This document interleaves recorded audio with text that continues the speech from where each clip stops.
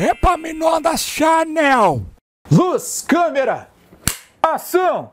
Opa, bem-vindo novamente! Depois de nós termos descansado durante todo esse final de semana, agora chegou a hora de voltarmos aos estudos no nosso curso Bitcoin do Zero. Lembrando que esse é o vídeo de número 6 do nosso curso. Se você quer realmente aprender, clica aqui em cima e seja direcionado para o vídeo de número 1. E fique atento que nesses vídeos estão rolando o Enigma, valendo 3 Ledger Nano. Então vamos falar sobre altcoins. Altcoins são moedas paralelas ou alternativas ao Bitcoin.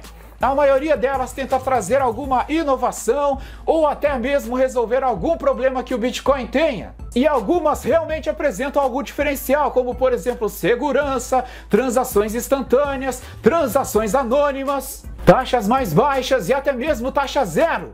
A primeira altcoin lançada foi um fork, ou seja, uma cópia do Bitcoin, chamada Namecoin. Ela foi lançada em abril de 2011 e existe até hoje, e ela está ocupando o ranking de 295 do Market Cap. O objetivo da maioria das altcoins é tomar o lugar da Bitcoin. Usurpadora! Os desenvolvedores podem dizer que não, mas eu consigo ler o coração de vocês e a mente de vocês eu sei que sim. Grande parte do market cap, ou seja, o dinheiro dos investidores, estão na Bitcoin. Por isso que ela ocupa o primeiro lugar no ranking. Mas vô, existem moedas muito melhores e elas podem derrubar a Bitcoin sim. Eu não posso dizer para vocês que isso nunca irá acontecer, mas vamos usar uma analogia aqui.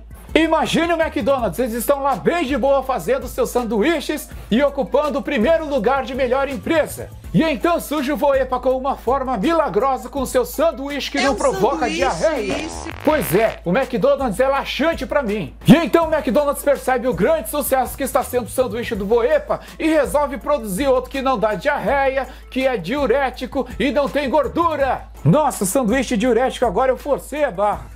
Se vê que você toma uns diuréticos aí para eliminar líquido achando que está eliminando gordura. Então a Bitcoin pode passar por soft forks que são atualizações. Por isso que eu chamo a Bitcoin de ouro virtual. Afirmar que as altcoins vão ultrapassar a Bitcoin é o mesmo que afirmar que o bronze e a prata um dia ultrapassarão o ouro. As altcoins geralmente têm um supply muito alto. É supply, vô. Supply teu fio for, chamo do que eu quiser. Então o supli da maioria das altcoins chega a ser bilhões, bilhões de unidades, transformando essa meta de ultrapassar a Bitcoin em uma utopia.